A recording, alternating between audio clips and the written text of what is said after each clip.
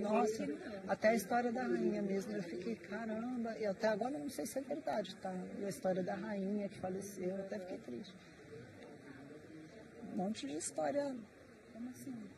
A rainha Elizabeth faleceu, mas a gente estava num hotel. Quem falou isso? Thomas que falou para outra. Que... Aí a outra falou, eu já sabia também. Aí quando rolou a história do Bruno, que o Léo Dias falou, a, a doutora Soberana falou. Ah, eu, é, eu já sabia de tudo, Débora, que estava rolando lá fora. Eu falei, mas como que você sabia e eu não? Em cachorro.